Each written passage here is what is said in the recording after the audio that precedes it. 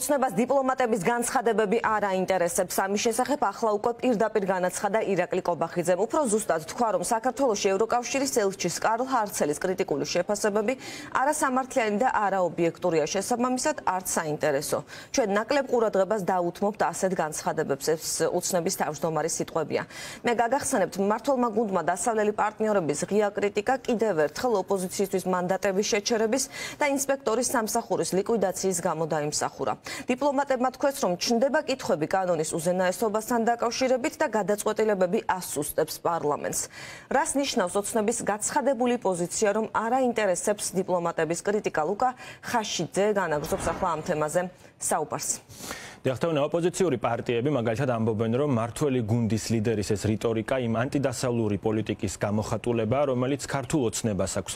ხელისუფლების ოპონენტების თქმით, გარკვეული პერიოდის განმავლობაში და განსაკუთრებით მართველობის პირველ წლებში ოცნება პოზიციონირებდა როგორც პროდასავლური ძალა, თუმცა ახლა ნიღაბი ჩამოიხსნა და ღიად ესხმის თავს ელჩებს საერთაშორისო პარტნიორებს, რომლებიც მართულ გუნდს აკრიტიკებენ ისეთი გადაწყვეტილებების გამო, რომლებიც ძირს უთხრის დემოკრატიულ პროცესს. პროცესებს და ინსტიტუციებს. კობახიძის თავდასხმას ჰარცელზე და დეგნანზე ისინი უწოდებენ ოცნების სურვილს დასავლეთის მიმართ გაჩნდეს скеპტიციზმი. იხსენებენ, რომ ეს არაა პირველი ასეთი შემთხვევა მართველი პარტიის მხრიდან და რომ პარტნიორებზე თავდასხმას ოცნებას ოცნების მხრიდან პარტნიორებზე თავდასხმას აქვს ტენდენციის სახე მეტიც. მათი თქმით ოცნების და ძალადობრივი ჯგუფების რიტორიკა ამ მიმართულებით იდენტურია. ქართული ოცნების მიზანია რაც შეება დაგვაშოროს ჩვენ ევროპულ ფასეულობებს, როდესაც მართველი პარტიის თავმჯდომარე ასეთი შეფასებით გაეხმაურება ჩვენი დასავლელი პარტნიორების განცხადებებს ეს რა თქმა უნდა კიდევ ერთხელ მოწმობს რომ მათთვის საერთოდ არ აქვს მნიშვნელობა საით ეკაჩებიან ქვეყანას ერთი და კიდევ ერთხელ დასტურია რომ ქართული ოცნებისთვის და მისი ლიდერებისთვის მთავარი ავტორიტეტი და ჭეშმარიტების მხახადებელი არის მხოლოდ ბიძინა ივანიშვილი და არავინ სხვა. ეს არის ძალიან სახიფათო ტენდენცია, რომელიც დიდი ხანია უკვე დაწყებულია ამ ქვეყნისთვის.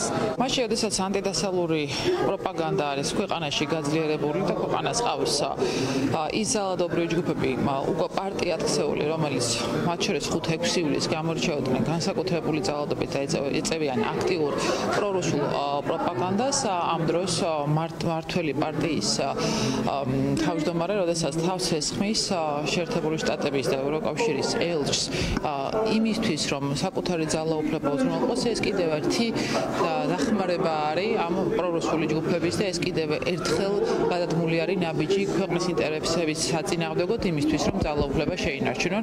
შესაბამისად, თანხვედრა ინტერესების ადგილზე არის. არჩევნების შემდეგ და ზოგადად ოპოზიციის შეცდომების შემდეგ ქართული ოცნება ასეთ ხასიათზეა, რომ ფიზიკურად აღარ დაგიდევს საერთაშორისო მეგობრების და პარტნიორების უპატივცემლობასაც კი.